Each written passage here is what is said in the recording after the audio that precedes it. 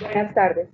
Este es eh, un taller dedicado a nuestros pacientes del Centro de ACV y de Infarto Agudo del Miocardio. Entonces queremos presentarles un ingrediente que poco trabajamos y es la uyama.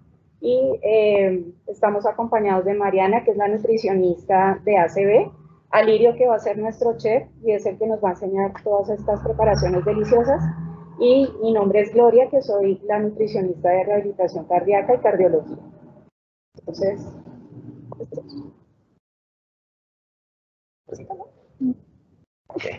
Buenas tardes. Eh, como dijo Gloria, eh, vamos a preparar hoy dos recetas con un ingrediente muy especial, que es la uyama. Todos a veces le ponemos como el pero, la cara fea, cuando nos dicen vamos a comer auyama. Pero hoy vamos a traerle esas dos recetas que son algo innovador. La primera es una arepa a base de auyama y la segunda un helado a base de auyama. Entonces eh, vamos a comenzar con los ingredientes. Entonces para los ingredientes de, de la arepa de auyama comenzamos así. Entonces necesitamos 90 gramos de auyama ya cocinada como la tenemos acá. Harina de maíz. Necesitamos ajonjolí, eh, chía y necesitamos pollo. Para esta receta también le vamos a colocar aguacate y adicionalmente también le pusimos brotes de alfalfa, maíz y una rúgula y una lechuga romana. Entonces vamos a comenzar a hacer nuestra arepa. Aquí tenemos que resaltar que en la opción vegetariana, en vez de utilizar el pollo, podemos utilizar como una hamburguesa de lenteja. Correcto. Bueno, antes de comenzar nuestra receta, nos vamos a, lavar las manos. Bueno, que es el primer procedimiento pues, que tenemos que hacer todos en la cocina. Bueno, entonces eh, voy a poner el jabón. Eso. Vamos a apagar. ¿Listo?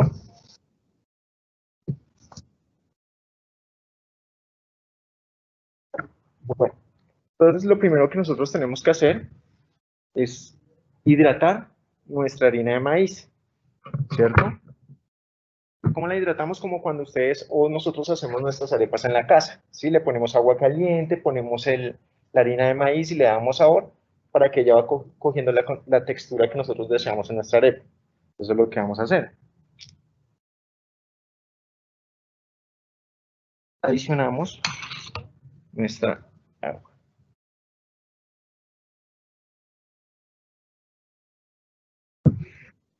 Y vamos mezclando. Si vemos que nos hace falta agua, le vamos adicionando. Seguramente no nos va a hacer falta agua. ¿A esa no le adicionas ni sal ni azúcar? Claro que sí. A este le vamos a poner una pizca de sal, una pizca de azúcar. ¿sí? Eh, también nosotros podemos ponerle, reemplazar la, la, el azúcar por stevia, ¿cierto? Para que no, de pronto esas personas que no, exactamente, que son diabéticas. Esta es la textura que tiene que tener nuestra arepa. ¿Sí? Nuestra masa. Ahora bien, ¿qué vamos a hacer? Ahora nosotros cocinamos nuestra uyama. Vamos a coger nuestros 90 gramos de uyama. Y la uyama la cocinamos con un poquito de sal.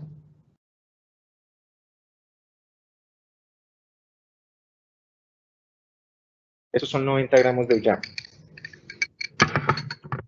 ¿Qué vamos a hacer? Vamos a adicionar nuestra uyama a nuestra masa de, de harina pan. Y vamos a triturar nuestra uyama. Cuando cocinamos nuestra uyama, cuando ya está lista, obviamente tenemos que escurrirla muy bien. ¿Para qué? Porque como la uyama del 90% es líquido, ¿sí? nos va a quedar muy suelto. Y acá, seguramente cuando ya vamos a comenzar a mezclar con nuestra arepa, seguramente nos va a quedar muy suelta.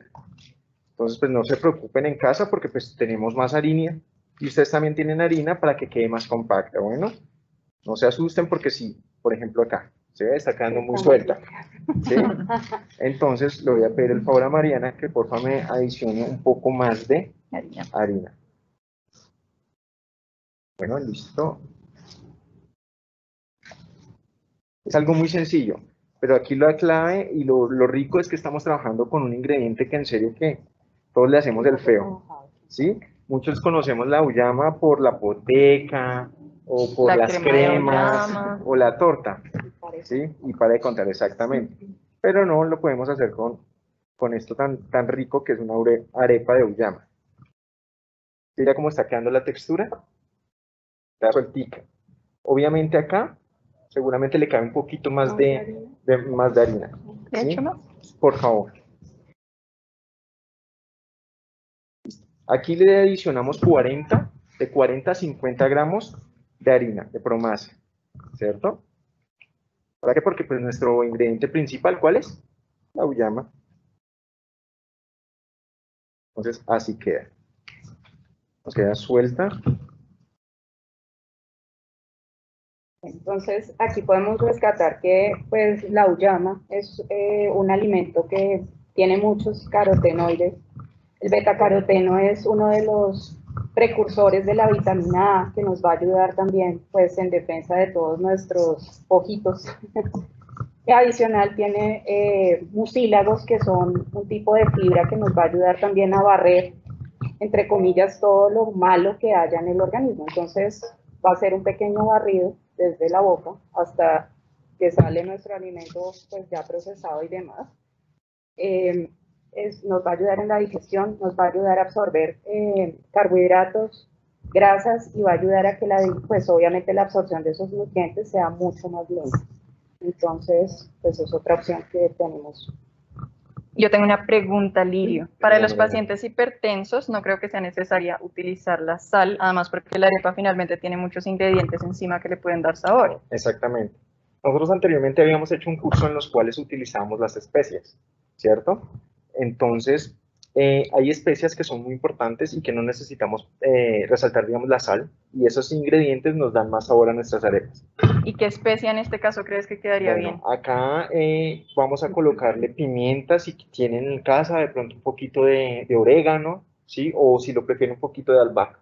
Bueno, aquí algo vamos a ponerle ya a este momento, vamos a ponerle la, Las la- semillas de chía. las semillas de chía y también nuestras semillas de ajonjolí. Pero aquí voy a hacer un alto en el camino y les voy a explicar algo sobre el ajonjolí. Muchas veces nosotros utilizamos de esta forma el ajonjolí, pero el ajonjolí cuando nosotros lo utilizamos de esta forma no nos aporta ningún sabor, ningún aroma. Entonces, ¿qué es mi consejo? Que en un sartén pequeñito lo doren, ¿sí? Para que el ajonjolí comience a soltar su sabor, además que el ajonjolí tiene grasas, ¿sí? Entonces aquí del ajonjolí eh, sale este famoso aceite que se llama aceite de sésamo, que es muy utilizado en el oriente, ¿sí? Entonces con esto vamos a enriquecer mucho más nuestras preparaciones, ¿bueno? Y una de las propiedades nutricionales del ajonjolí es que contribuye con el perfil lipídico, ayuda a disminuir los triglicéridos y el colesterol en la sangre.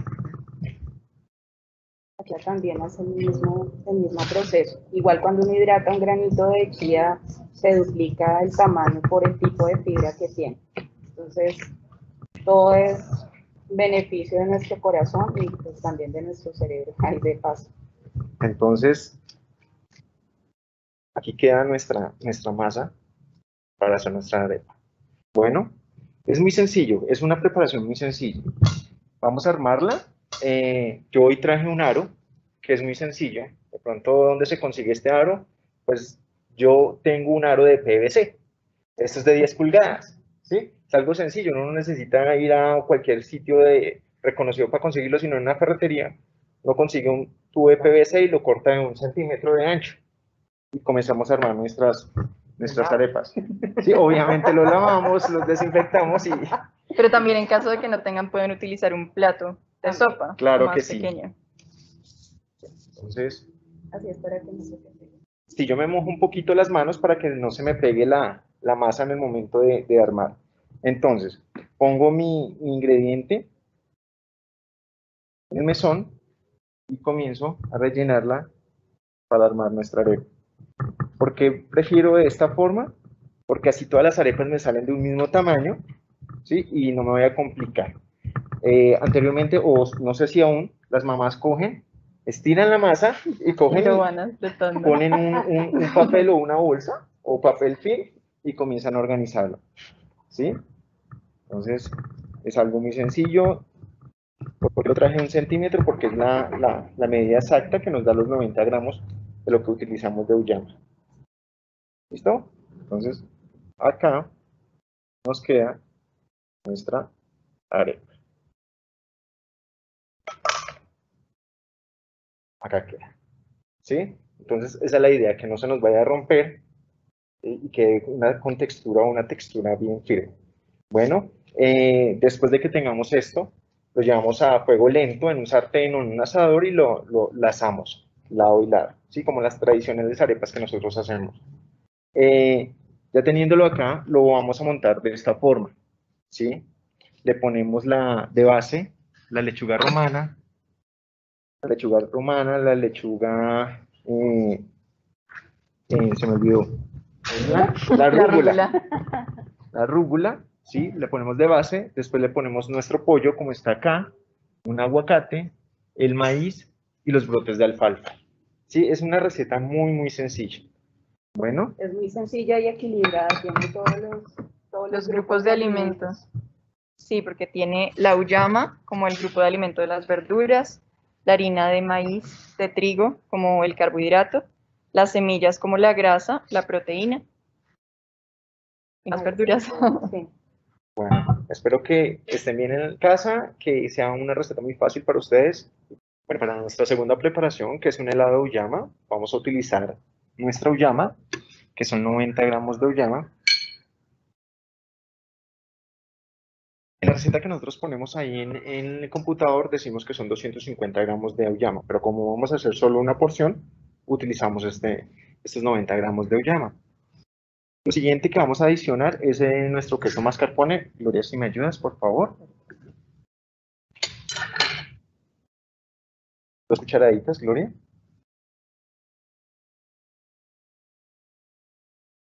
Gloria. Vamos a mezclar muy bien. Ahora, Gloria, si me haces el favor, queso crema.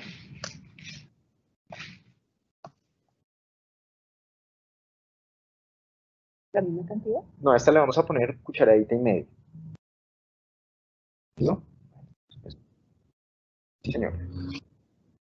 Vamos a adicionarle frutos secos, como son arándanos, las nueces, maní o lo que ustedes tengan en su casa.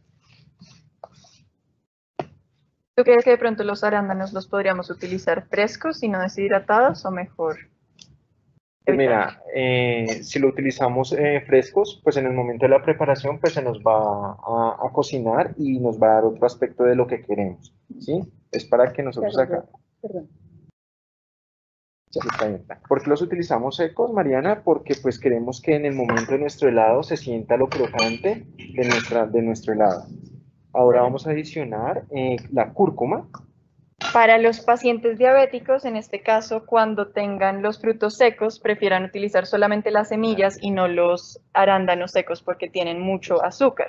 Entonces aquí sí evitémoslo, pero para los que no, disfrutemos. Aquí vamos a, utilizamos una cucharadita pequeña de cúrcuma. Vamos a adicionar nuestra nuez moscada, también una cucharadita pequeña. Esta nuez moscada es algo muy, muy rico, es una especia muy deliciosa porque nos da demasiado sabor e incrementa los sabores que nosotros utilizamos en la cocina. Mire cómo va quedando nuestra preparación. ¿sí? Ya coge, digamos, cierto eh, consistencia. Bueno, vamos a adicionarle miel. Si no tenemos miel en la casa o esas personas que no, les, no pueden comer no deben comer este tipo de azúcares. Entonces vamos a utilizar la stevia, ¿sí? Entonces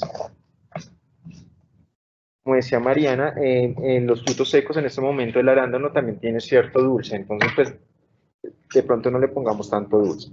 Y también adicionamos la canela. Bueno, entonces en este momento así queda la, la consistencia de nuestro helado.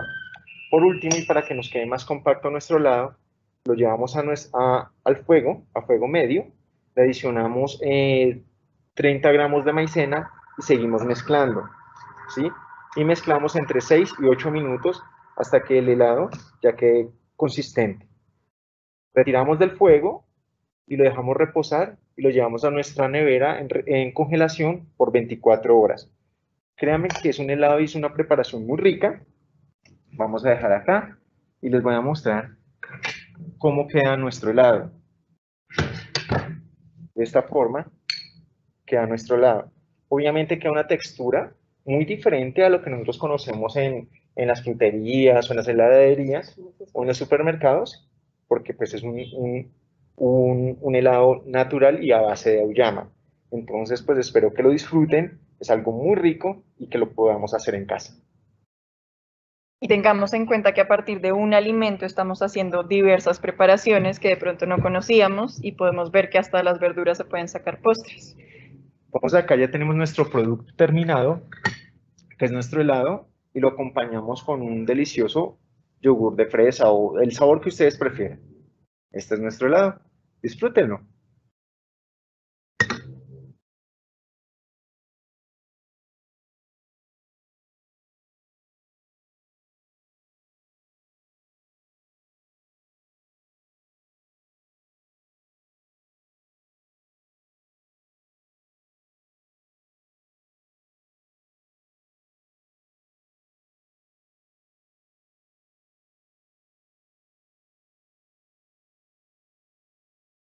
Les agradecemos haber participado en el taller de Cocina con tu Corazón y eh, disfrutar a tu cerebro. cerebro. Y esperamos que les haya quedado muy rico. Y muchas gracias por la invitación y pues estaremos en otra oportunidad con otras nuevas recetas. Muchas gracias.